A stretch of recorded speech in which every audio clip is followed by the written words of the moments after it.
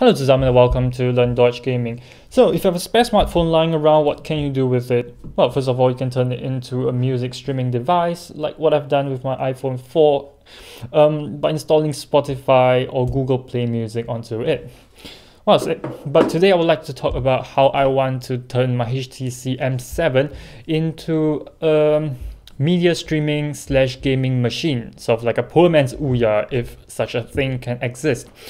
So I've laid down two rules for my project. Well, first of all, it should not involve rooting because not everyone wants to root their phone, even though I've have, but not everyone wants to root their phone and void their warranty. Secondly, it shouldn't be too expensive. You know, if it costs 200 euros, I might as well just go get, you know, a Razer micro console and be done with it.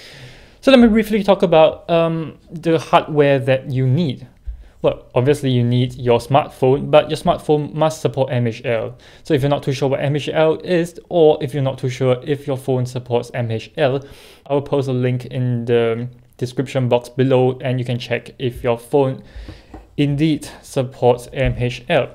Second thing you need is an MHL adapter or MHL cable um, you know, these things, you can get these things from your manufacturer, from the manufacturer of a phone, so official first party hardware, or you can get it, you know, third party um, cables like this. I paid about 12 euros for this thing.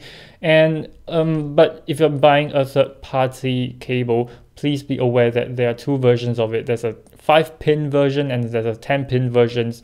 So, you know, please be aware that, you know, don't buy the right cable for your right phone, do a bit of internet research. And thirdly, you oh, I need a wireless input device. So in this case, I bought a Moga Pocket. Well, first of all, because I bought this over Pro, Power, Hero, or whatever versions they are out there, because it's it was selling on Amazon for really really cheap. I got it for 18 euros. So um and it does but it doesn't feel cheapo. Um, it has nice rubberized grips at the back, and you know the buttons are clicky. But this doesn't feel as nice as the one on um the new 3DS. But that's okay. But I would suggest that if you have um, the budget, please get you know you go you go out and get the Pro Power or Hero version over the Pocket because the Pocket has its limitations. So now that I've connected the Moga to the phone, I can show you around the Moga Pivot app itself. So first of all, you realize that it kind of simulates a console-like experience. Inside the app, you can control, you can navigate the menus um, using the thumbstick itself. Um, the app also collects all the games uh, that are compatible with the Moga and you can launch your games from the app itself. For example, if I launch Shadowgun Dead Zone, which you will find out later, is not a very good example because even though it supports the Moga, you can control your on-screen character using your dual thumbsticks. The menu itself doesn't support um, the controller, so you cannot park your phone three meters away from you and sit back on lounge on your chair. So what I'm trying to say is it's not a truly wireless experience. So if you're looking for something like, you know, let me activate this app and I would sit back and relax and control everything on screen from four meters away, it's not going to happen. And even though there's another unofficial app called the Moga Universal Driver.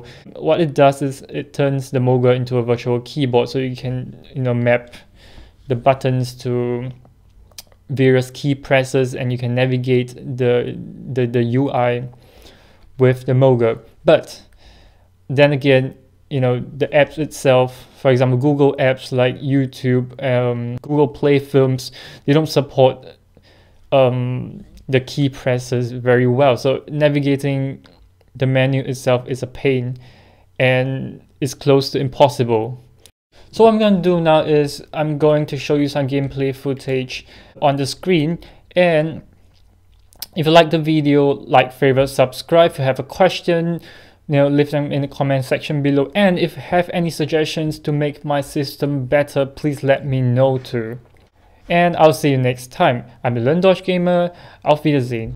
So as I've said before, you have to navigate the menus in Shadowgun Dead Zone using the touch screen. So I had to clip the phone to the Moga, sort of like one of those plug and play mini consoles, just a little bit more intelligent. The gameplay is smooth, no 60 frames per second, but considering that it's running online on a mobile device, it's quite an achievement already.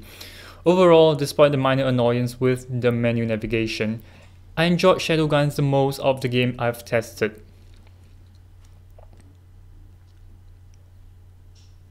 The second game is Reaper, a cute 2D RPG. Graphics are bright, colorful, and the game runs smooth.